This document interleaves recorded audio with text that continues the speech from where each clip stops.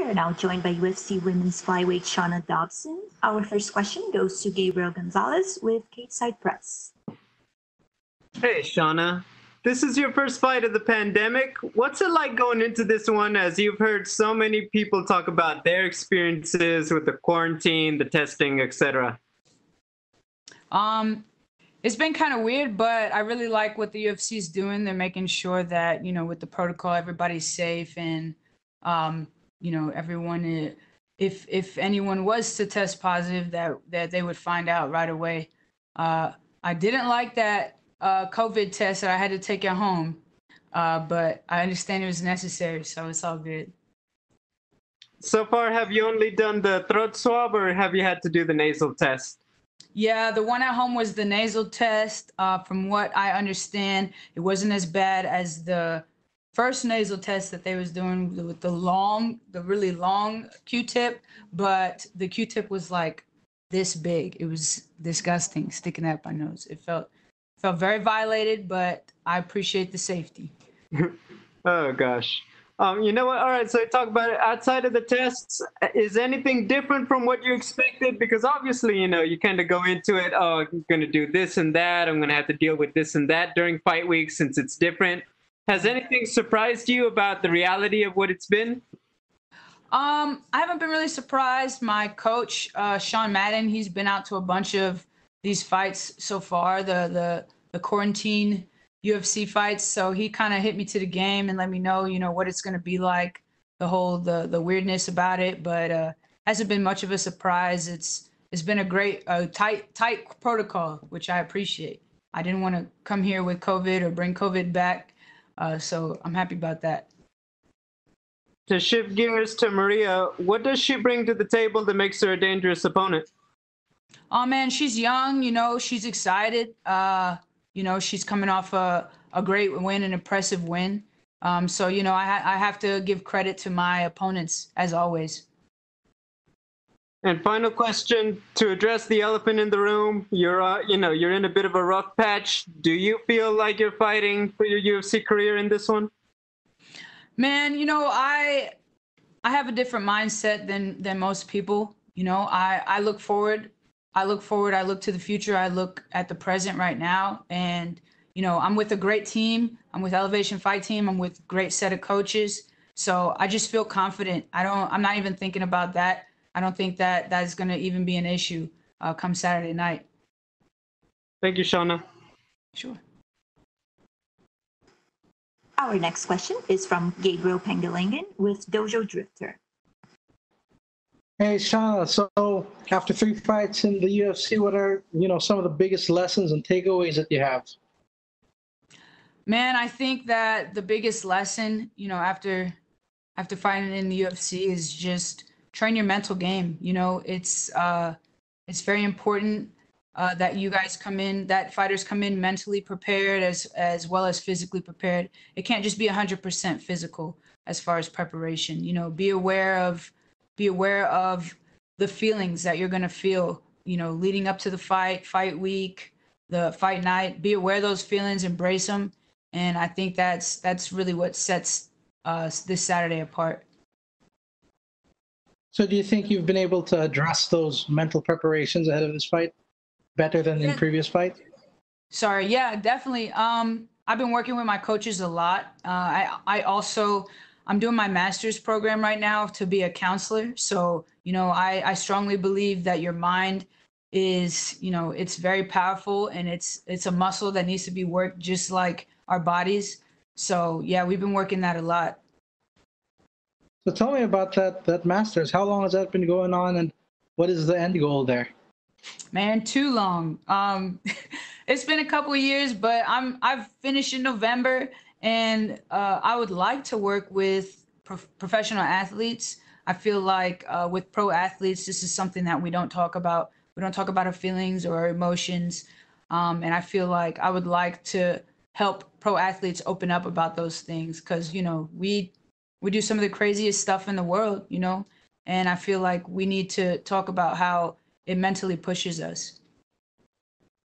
That sounds awesome. And I actually noticed uh, on your chest a tattoo, one love, one heart. one. Destiny, can you tell me a little bit about the backstory of that tattoo? Yeah. Um. So I'm Jamaican. My parents are were born and raised in Kingston, Jamaica. So you know that's uh one love, one people is a great is a big motto that the Jamaica people live by. And then uh, of course you know about the Bob Marley quote. You know Bob Marley, Jamaica. He's a, a great symbol of of that country. Uh, so you know I definitely uh, I have I have connection with with my roots. All right. Well, thank you so much, and best of luck this weekend. Thanks. Our next question is from Rodney James Edgar with MMAsoldier.net. Hey, first of all, is it Shanna or Shayna? Because I always thought it was Shayna. Everybody's calling Hey. Shanna. Thank you for asking. It's Shauna. Yeah, I, am I hearing it wrong? It's Shauna. That's what they're saying. right? Okay.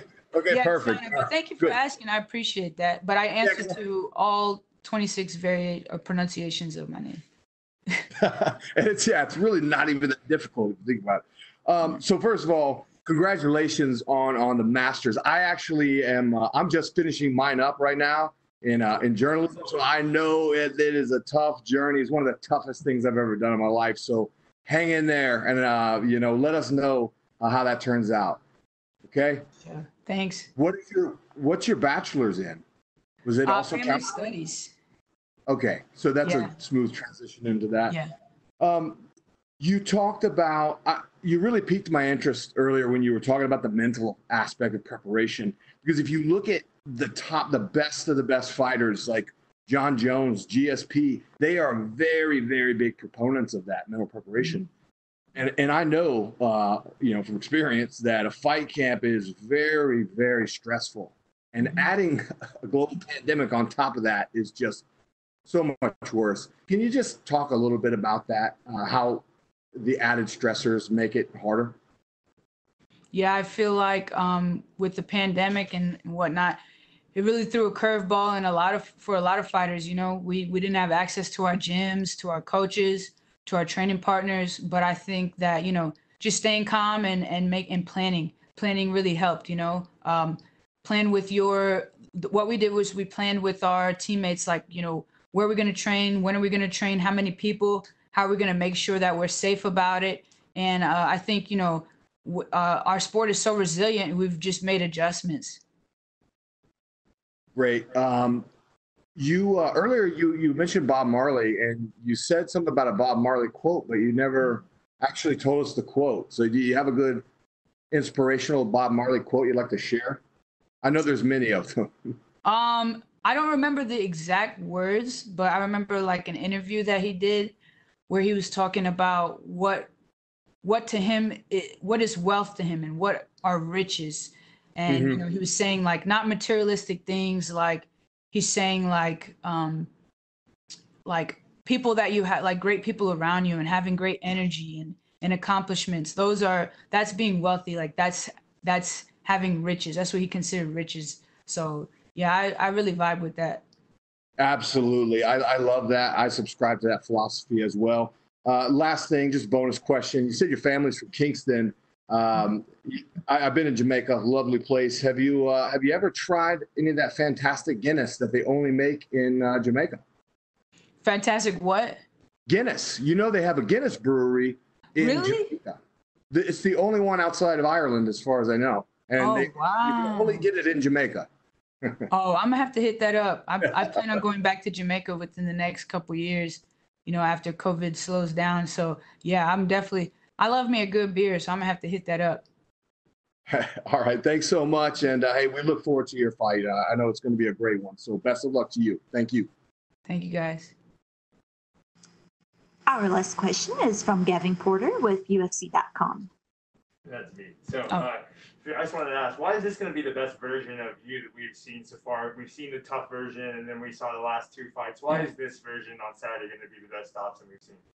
Um, I think I, I got to give credit to the training that I've put in um, and where I've been for the last six months. Uh, I feel like my team has spoken for you know the results have spoken for itself, um, and just you know the people that I surround myself with, the level of competition that I'm training with, my training partners. You know, it's stacked in there. Every every Tuesday, every Friday when we're in there getting it and, and we're, we're pushing each other and we're sparring, we're sparring hard.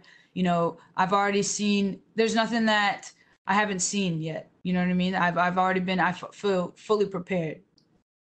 Yeah, and when- when you think about this fight on Saturday and you envision it, what does it look like for you? What do you envision your style matching up with her style? What's it look like? Um, I think it's gonna be fun. I feel like uh, Mariah, you know, she's she's a great striker. She's a great all around fighter, and I feel like you know I have that I have that experience, and I have you know I've been in there for wars. I've been in there for technical matches. You know what I mean? So I feel like, and no matter where the fight goes, you know, uh, we're both gonna be prepared to put on a great show for the for the audience. And what does a statement win for you look like to get that fight for that finally that UFC dub that you want so bad? What does a statement win look like for you? Man, um, you know, I know I have power. So, you know, obviously everyone says they're going out there looking for a knockout. I know I have power. Uh, I believe that knockouts shouldn't be forced. They're not forced. So whatever happens, happens. But, you know, I know we're going to be victorious. Perfect. Thank you. We're good, Sean. Much, much.